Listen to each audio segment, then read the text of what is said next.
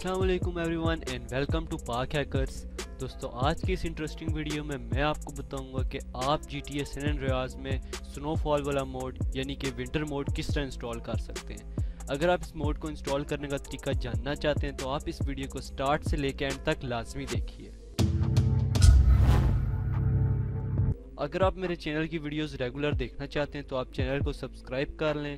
Channel کو subscribe کرنے کے لیے اسی ویڈیو کے نیچے ایک ریڈ سبسکرائب کا بٹن آ رہا ہوگا، آپ اس پہ کلک کر دیں اور ساتھ ہی اس بیل آئیکن پہ بھی کلک کریں تاکہ آپ میری نئی ویڈیوز ٹائم سے دیکھ سکیں۔ تو چلیے، ویڈیو کی طرف بڑھتے ہیں۔ سب سے پہلے آپ کو ایک موڈ کی ضرورت پڑے گی۔ اس موڈ کا ڈاؤن لوڈ لنک آپ کو ڈسکرپشن سے مل جائے گا۔ وہاں سے جا کے اس کو آسانی کے ساتھ ڈاؤن لوڈ کر سکتے ہیں۔ ڈاؤن لوڈ کرنے کے بعد آپ نے اس کو ایکسٹریکٹ کر لینا ہے۔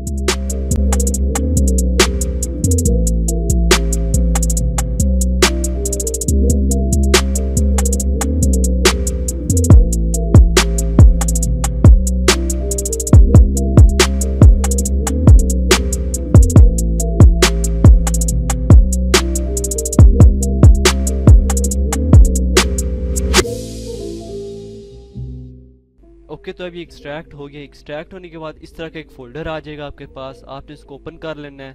اس فولڈر کو اوپن کرنے کے بعد اس کے اندر تین فولڈرز آپ کو دیکھنے کو ملیں گے۔ سب سے پہلے آپ نے یہ G T A San Andreas والے فولڈر کو اوپن کرنا ہے۔ اس میں جتنی بھی فائلز ہیں، آپ ان کو کاپی کر لینا ہے۔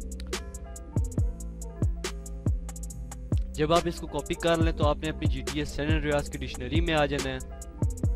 سنن ریاض کی ڈکشنری میں آنے کے بعد آپ نے اس کو یہاں پہ پیسٹ کر دینا ہے اور ریپلیس دا فائل کر دینا ہے۔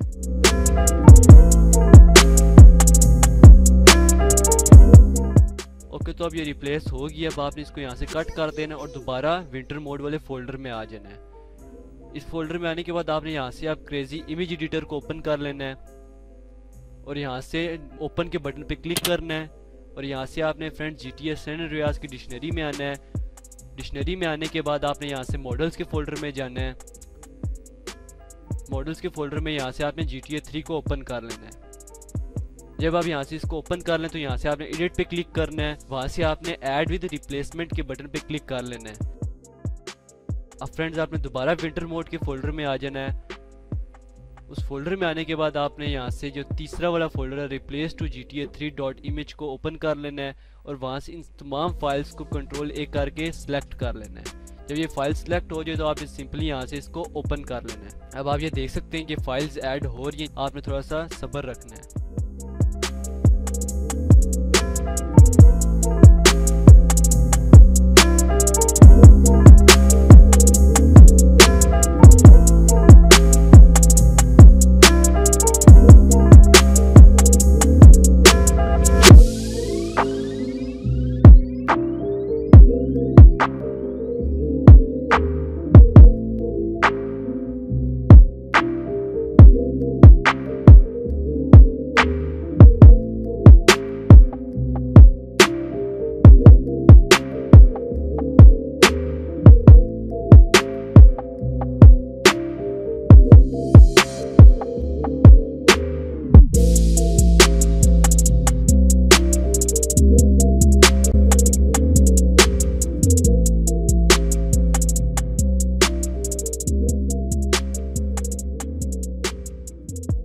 اب دیکھ سکتے ہیں کہ فائلز ایڈ ہو گئی ہیں۔ جب یہ فائلز آر ایڈڈ لکھا ہوا آ جائے تو آپ اس کو کٹ کر دیں اور اپنی جی ٹی اے کو اوپن کر لیں۔